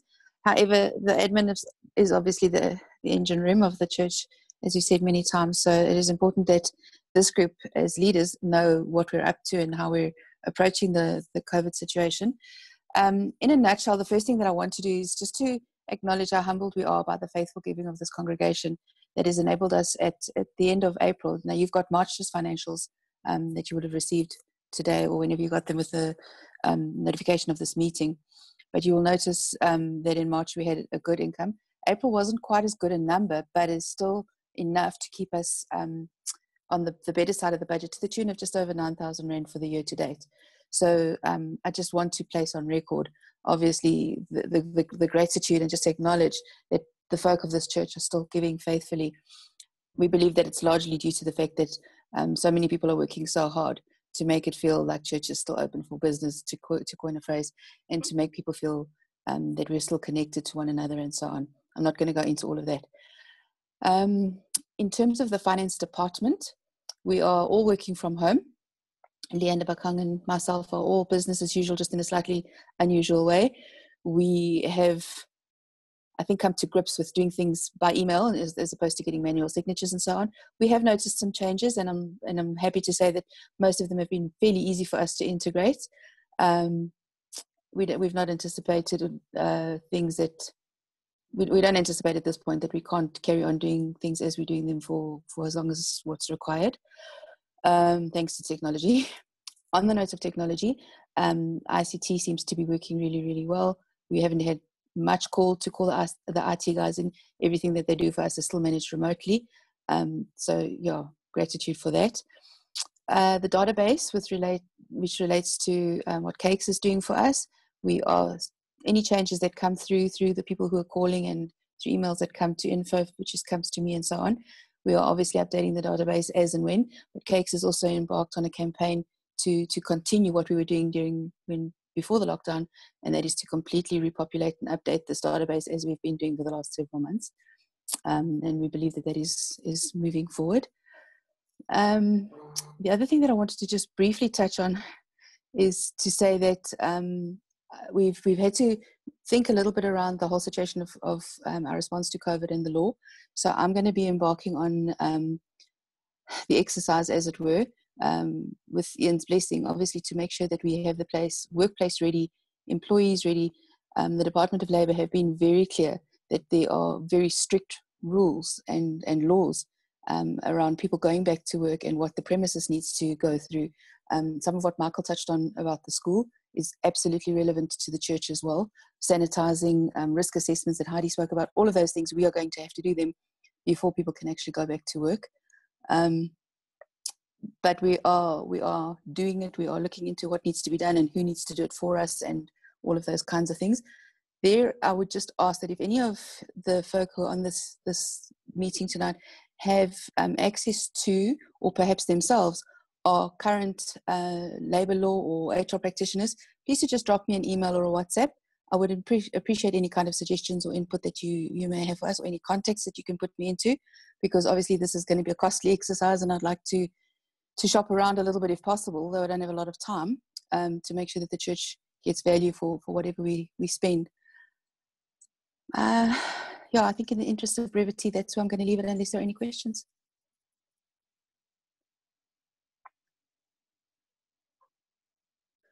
Okay, questions, comments, suggestions?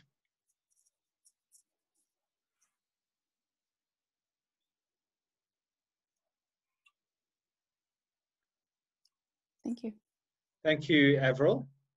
Um, so um, we we come now to the questions which were raised at the beginning of our meeting, and the one does relate to finances. So um, can you see the questions on your screen now? Um, and yeah, we do. Yeah, so the first question has been covered. Um, the third question has been covered. Just to talk about the second question. So just to explain that because of the faithfulness of the congregation, and we are actually on budget for the year to date as far as uh, congregational tithes and offerings go, uh, we have been able to continue to uh, meet our assessment expenses and our HR expenses. The only uh, staff members who have taken a bit of a knock is our ground staff who normally are paid overtime for the car guard work that they do on Sundays and uh, and Saturdays sometimes and evenings. So obviously they've lost the overtime portion, uh, but they, they are getting their basic salary in full. Um, and so we have a finance uh, committee meeting taking place next week and the finance committee will be applying their minds to a strategy going forward uh, and i guess doing some scenario planning from a financial point of view so that's where we are at as far as the westview society goes and of course there will be some savings um, you know electricity bill will go down water bill will go down printing costs uh, on, on, on will go down um, but then there are other expenses that have gone up. So we are helping some of the people who are phoning with extra airtime um, and and uh, their you know uh, subscriptions to Zoom and so on. There are a few additional expenses relating to shutdown. Um, then, as far as the circuit uh, and the district synod go, um, ministers have been requested to uh, to volunteer. So for many, for some ministers, their traveling expenses have gone down, and as ministers, we do receive a traveling allowance. And so ministers have been asked in, across the synod uh, to volunteer a reduction in their traveling. Um, which will provide some relief to the local congregations in terms of travelling allowances paid. And so uh, that has been left up to each minister to do an assessment of what impact lockdown has had on their travelling expenses and to consider uh, passing on that saving to local societies. Uh, there has also been a Synod um, COVID relief fund launched, and ministers have been asked to lead by example in making a financial contribution towards that Synod COVID Relief Fund. And um, but that's not really an HR saving. As far as the connection goes, um, there are constant conversations taking place um, about the financial impact on uh, the entire Methodist connection but I don't think any firm decisions have been taken at this stage. Siphiwe, you might want to add something here. Jeff, I know you serve on the Synod Finance Committee. You may know more than I do as well. Um, but as my understanding is that at connectional level, um, you know, there have been many conversations, but we don't know enough yet about the impact, and we haven't yet reached the stage of making any firm decisions relating to assessments. Uh, the other thing I forgot to say about Westview HR spend is that the 1st of April is normally the increase, the annual increment date for our church staff. And, uh, and so uh, staff increases were put on hold on the 1st of April.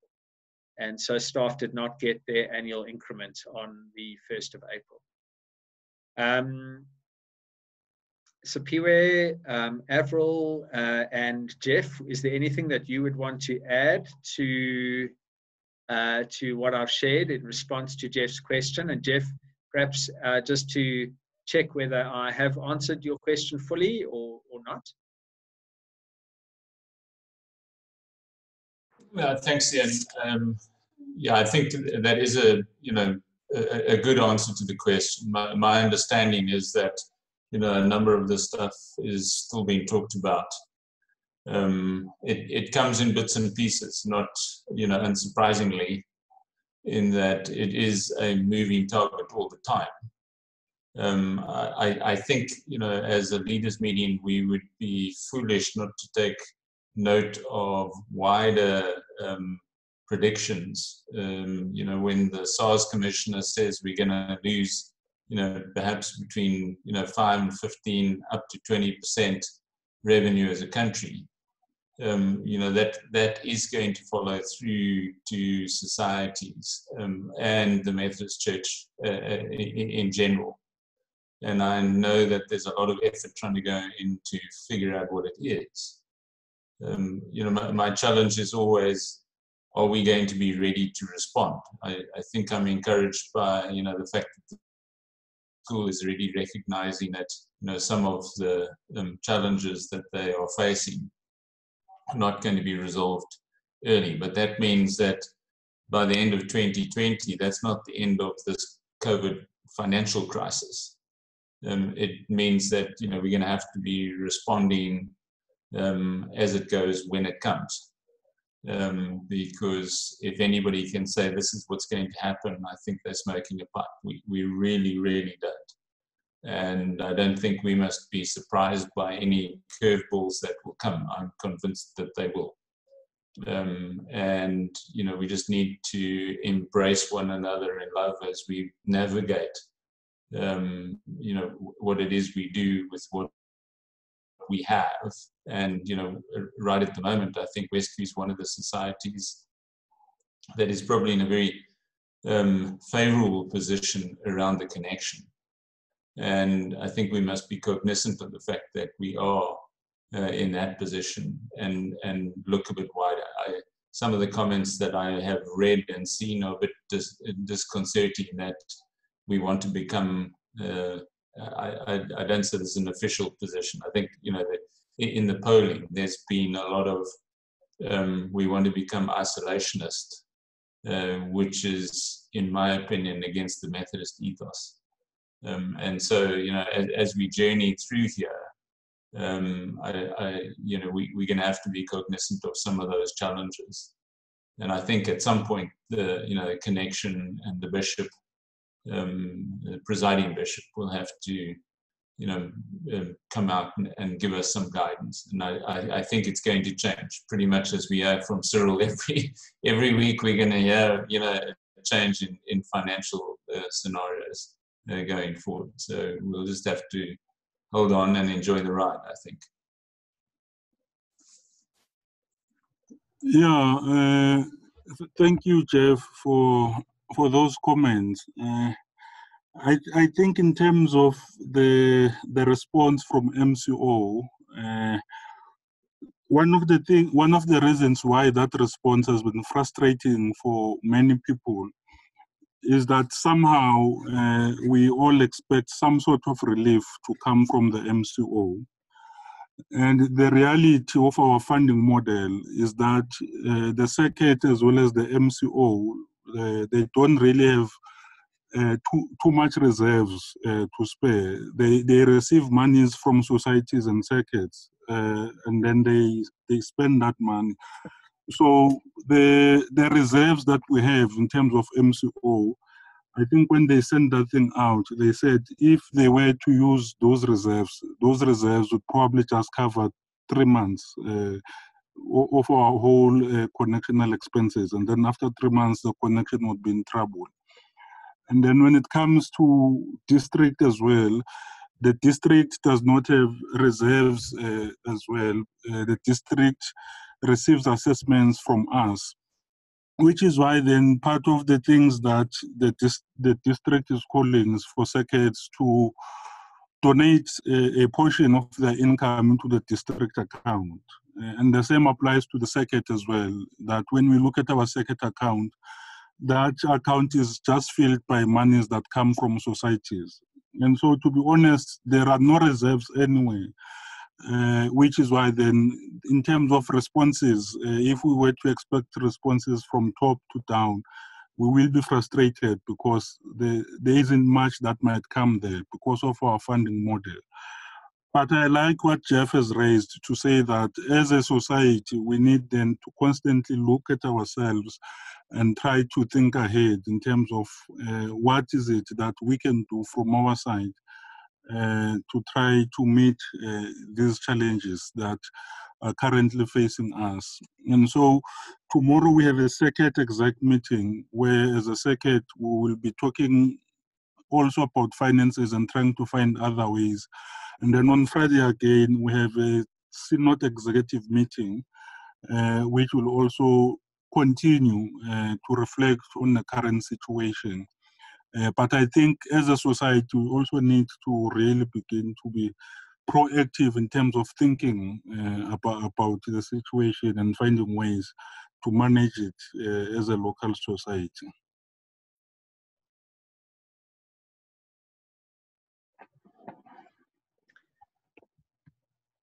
Thanks for that wisdom and for that information, um, Siphiwe and Jeff. I think this is just a very important conversation, and it's important that you, as a leaders meeting, just understand some of the conversations uh, that the broader denomination is facing, both at synod or district level and also at the connectional level.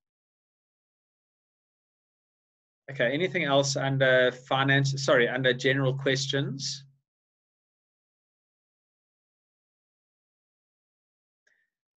Okay, so just to say that our next, um, according to our year planner, the next date for a leaders meeting is Thursday, the 27th of August. So that is uh, uh, three months' time, and um, uh, and uh, yeah, for the time being, that will be our next um, meeting. Then, um, for those of you, just to let you know that the um, date of the quarterly meeting has shifted. Um, I don't have the date on hand, but you will be notified of the date of the circuit quarterly meeting, which will also be a Zoom meeting. And, uh, and so watch, watch the space for uh, the circuit um, quarterly meeting. Okay, are we ready to close? The, the 8th of? The 28th of 28th. May. 28th of May. Thank you for that, Siphiwe. 28th of May is the date for our um, circuit quarterly meeting. Okay, um, right. Are we ready to close our meeting?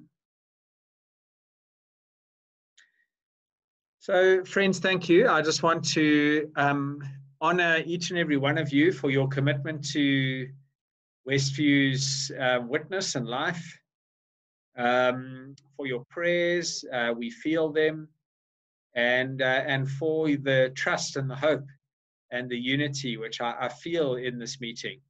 Uh, I really do feel that there has been this incredible unity uh, through this time uh, at Westview, and um, and so I'm I'm I'm very very grateful uh, for that. Um, we're going to close in prayer now, and um, me uh, getting Dion and Harry mixed up. Perhaps just prudent to share with you as a congregation that Harry did uh, fall over the weekend and uh, broke his hip. Uh, he is in hospital. Uh, we'll be having surgery in about a week's time, and so in our closing prayer, we will just remember Harry and Miranda uh, in in in prayer. um, at this at this time. Um, and then we also want to pray for a, a member of this um, meeting. Um, she is a Sunday school teacher, Cherise, uh, Cherise Fryer, and um, Cherise's um, father passed away. Um, we will be having a memorial service. Superior will be leading a memorial service at the Westview, uh, on the Westview campus on uh, on uh, next week, Wednesday or Thursday. And so we just want to pray for Cherise and, um, and uh, her family at this time. So let us come before God in prayer. Let us pray. God, we thank you that you are a God who is faithful. We thank you that we feel the nearness of your spirit with us and in us as we journey through this time. Thank you, Lord, for your wisdom, for your guidance, uh, thank you for your love, which binds us together in unity. Thank you for all the many ways in which Westview continues to be a place where life change happens that we have heard about tonight.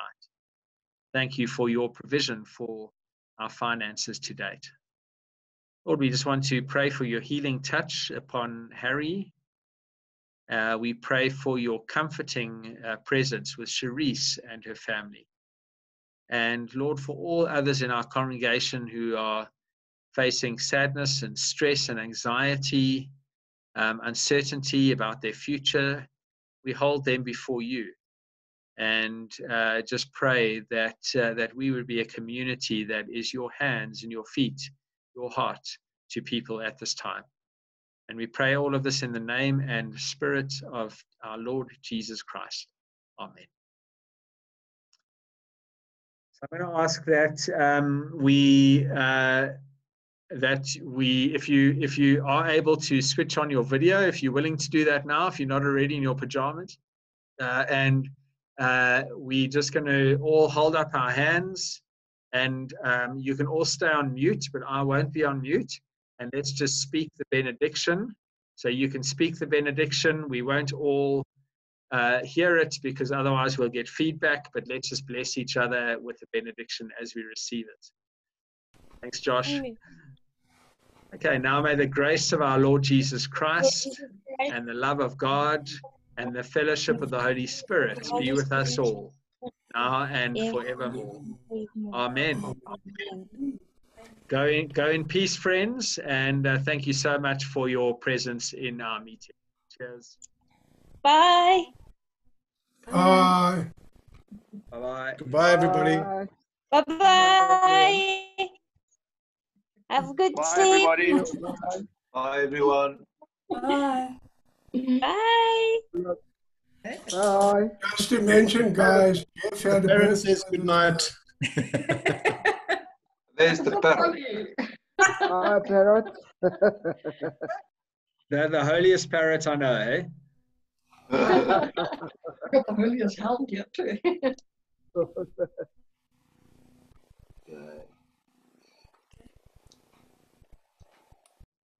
Bye, Ian. Baba Loni, love to Mandu. It sounds like she's working hard, eh? Yeah, she's she's been in meetings since uh, ten this morning. Wow. Wow. Meeting is she- after meeting after meeting. Is she working from home? Yes, from home. She's just next door. Oh, okay. Well, give her my greetings, eh? Okay. Will do. Will do.